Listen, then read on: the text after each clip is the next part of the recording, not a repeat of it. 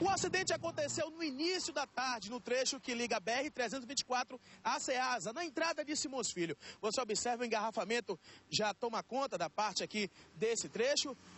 E, infelizmente, o corpo do motoqueiro se encontra no local. Um acidente grave. Observe aqui a Polícia Rodoviária Estadual já fazendo, cuidando do trânsito aqui na região. Vamos atravessar aqui, Fábio, rapidinho. Vamos passar por lá de cá, Fábio. Passar aqui um pouquinho. Segura aí, caminhão. Obrigado. Vamos lá. Observe aqui. O caminhão, a placa está aqui. NYL 0360. Licença de Salvador. O caminhão aparentemente carregava produtos químicos. E nós vamos, nós vamos passar por aqui. O policial está pedindo a área. Vocês, vocês passavam por aqui na hora? Você estava aqui? Como foi que aconteceu esse acidente, amigo?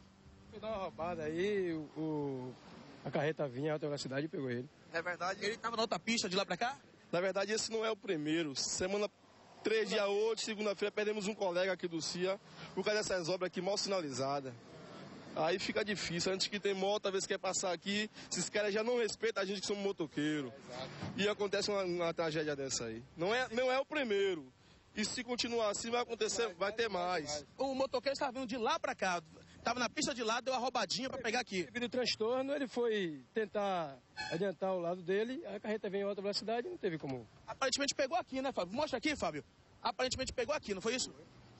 Observe aqui à frente o para-choque da carreta, como ficou. O farol quebrado.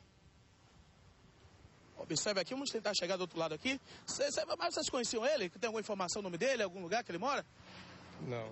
Observe aqui a placa de Simões Filho, NZD 1123, e o corpo está aqui, exposto ao sol. Nesse exato momento, chega uma viatura da polícia. Vamos esperar para ver se é, se é a polícia técnica aqui. Há um grande engarrafamento aqui na região do CIA. Você observa muitos carros.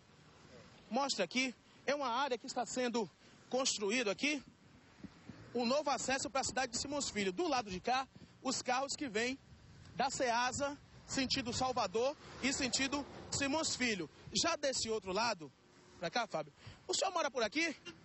Na quadra 8, dia 1. Aqui é complicado aqui, né? É meio complicado. Trânsito aqui tá desse jeito. É sempre assim essa aí. Tem, quando já está tudo aí, não vai melhorar nada aqui em Simão Filho. Você também é motoqueiro, passa sempre por aqui, né? Direto, velho. A gente passa aqui toda hora, a gente passa por aqui. Que você tá vendo esse acidente? Mais um motoqueiro, mais um colega de trabalho seu que perde a vida aqui. Rapaz, é, é pra você ver, as coisas acontecem, né? E ele, infelizmente, ele assim não, não viu que essa pista aqui estava liberada e deu essa roubadinha aqui e a carreta apanhou ele.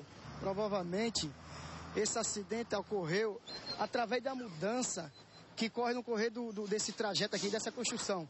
Porque é acostumado sempre a acontecer esses acidentes. Provavelmente já tem um, um amigo meu que está paraplégico, está aleijado através desse acidente, que a gente passa para trabalhar pela manhã e tá como vocês estão vendo aqui. Quando a gente volta à noite, muda tudo. A vítima acaba de ser identificada aqui pela Polícia Civil da cidade de Simões Filho. Wilson Ferreira de Souza. Nasceu no dia 9 de junho de 1988. Deixa eu conversar rapidamente aqui com o investigador. É a informação que nós temos é que ele é- era morador da cidade de Simões Filho. Confere? Meu irmão, eu até agora não tenho nenhuma informação dele. Só a qualificação que os colegas da estadual passou a identificação para ele, pra gente. Uma área que volta e meia acontece acidente, né? É, com certeza. Imprudência, né? E aí o